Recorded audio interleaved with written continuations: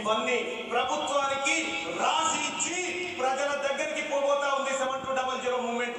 నేను అలాగే బతకాలనుకుంటున్నాను ఒక రాస్తాడు ఒక బాండ్ పేపర్ రాసి చూపెడతాడు ఇట్లా. ఇక రాసి ఇచ్చిన అన్ని అంతకుముందు అదే కదా డ్రామా చేసింది. బినామీల పేరు మీద ఆస్తులు ఉంటాయి. ఆ బిడ్డ మీద ఈ బిడ్డ మీద చెరో యాభై లక్షలు ఉంటాయి. భార్య వచ్చేసి గవర్నమెంట్ టీచరు. నీకు క్యూన్యూస్ ద్వారా నెలకు పదిహేను ఇరవై లక్షల డబ్బులు వస్తున్నాయి. ఈ ధనం అంతా ఎవరికి ఇస్తో చెప్పకుండా వచ్చి పేపర్ల మీద రాసి ఇస్తా అంటున్నావు పంచాలి కదా.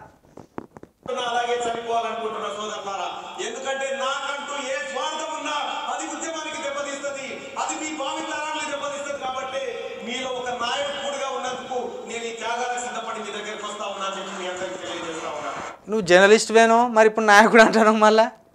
నాయకునివా జర్నలిస్ట్వా ఏదో ఒక సైడ్ ఉండు. ఉంటే మంచి కన్ను ఉండు ఉంటే చెడు కన్ను ఉండు. సగం సగం ఉండకు. అటు ఇటు లాగా చిక్కగాను లాగా ఉండకు అసలే. ఇజ్రా లాగా ఉండకు. వాళ్ళు ఇంకా వాళ్ళనన్నా నమస్కారం చేయాలి? వాళ్ళనన్నా చేయాలి? మేము ఇజ్రాలం అని వాళ్ళు చెప్తాను డైరెక్ట్. నువ్వు చెప్తలేవు. నువ్వు ఆడా మగ చెప్తలేవు.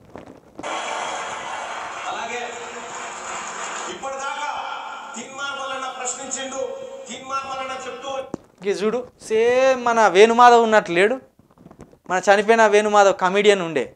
ఆయనతో సినిమాలో కూడా యాక్ట్ చేసిండు వీడు. అలా మున్సిపాలిటీ క్యారెక్టర్ పోయింది. రోడ్లు ఉడిచే క్యారెక్టర్. బందోబస్తు క్యారెక్టర్ ఇచ్చిండు విన్నప్పుడు చూడు ఎంత పొగరు ఎంత మదం కనబడుతుంది చూడు వాని ముఖంలో. వాని ముఖంలో మదం ఉంటుంది.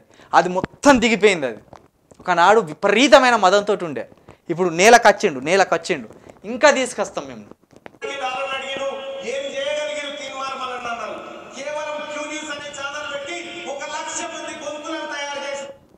ఏ ఏరియా లక్ష మంది?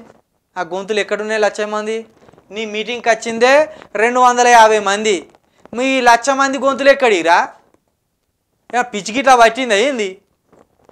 అంటే అన్నీ ఊహించుకోవడం అన్నట్టు. ఏది? మన బాద్షా సినిమాల ఎన్టీఆర్ కదా మన బ్రహ్మానందాన్ని భ్రమ పెడతాడు చూడు. ఏంటిది అది? ఆయన పేరు ఏంటిదో ఉంటుంది అలా. పద్మనాభం. ఏదో పద్మనాభం ఉంటుంది. పద్మనాభం ఆయన పేరు. నిజం. నవ్వొస్తాంది. ఆయన ఏం చెప్తారంటే పద్మనాభం మొత్తం ఇప్పుడు నీదే ఇదంతా. అంటే మనోడు రెచ్చిపోతా అంటాడు ఇక. ఎవరిని చూసినా ఆగడు. ఎంత పెద్దోడు వచ్చినా ఆగడు. తర్వాత తెలుస్తుంది బోరిని అమ్మ నన్ను నన్ను మొత్తం ఒక భ్రమల బతికిచ్చింలా వీళ్ళు అని. నీది కదే కథ ఉన్నది ఇక.